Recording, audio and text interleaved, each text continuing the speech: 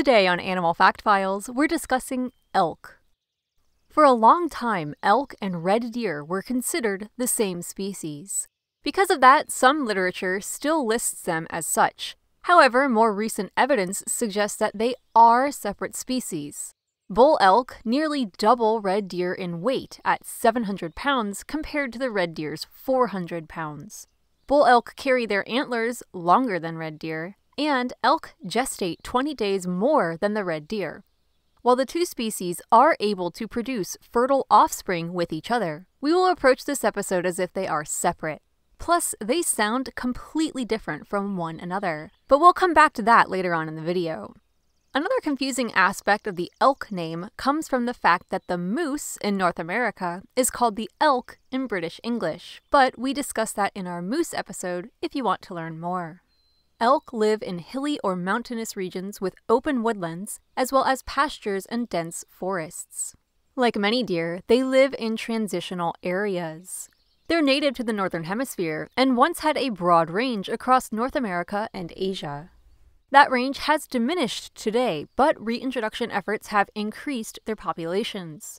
For example, these deer were extirpated from the Appalachian Mountains, but wild herds can now be seen there. They've also been introduced to parts of the southern hemisphere, such as New Zealand. Elk are some of the largest living deer in the world. They stand four and a half feet tall at the shoulder and weigh anywhere from 500 to over 700 pounds on average. Male elk called bulls sport antlers that can reach 6 feet across and weigh more than 30 pounds. For reference, an elk calf weighs about 30 pounds at birth, so a bull carries around the weight of his child all winter.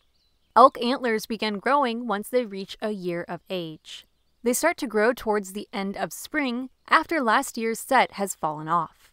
When they first grow in, they're soft and velvety. After a few months, this is shed to reveal the hard antlers beneath. Bulls rub their antlers to remove the velvet and sharpen their antlers in the process.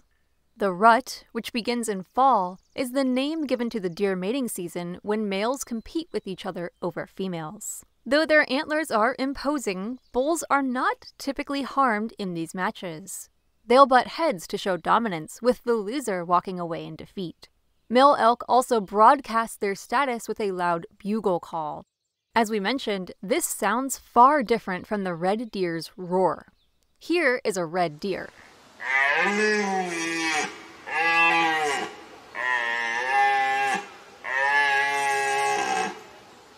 And here is the call of the elk.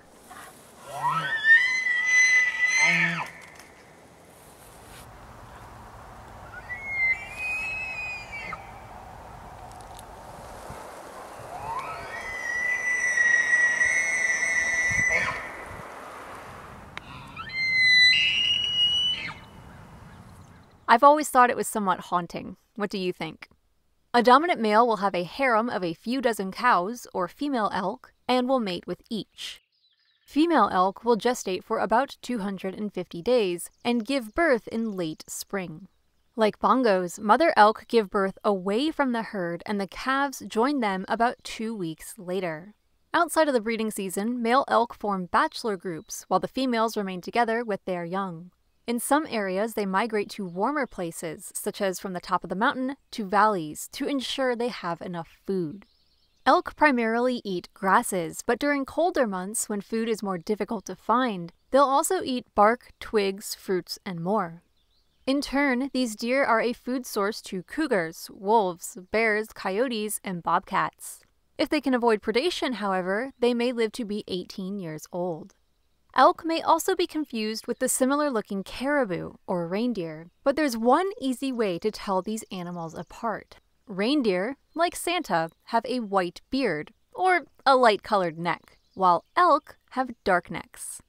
For more facts on elk, check out the links below. Give a thumbs up if you learned something new today. Thank you to our patrons, Spike Spiegel93, Dad, who requested this episode, and everyone else for their support of this channel. Thank you to these viewers for today's requests as well. And thank you for watching Animal Fact Files.